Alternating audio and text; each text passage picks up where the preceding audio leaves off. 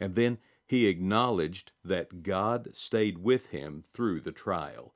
He didn't just whine to Timothy about what a bad situation he had been in.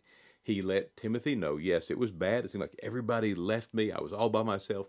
But the Lord stayed with me, and the Lord will stay with you in your trial, in your time of opposition from someone.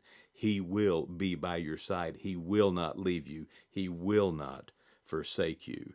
And then he professed that God would see him through. Oh.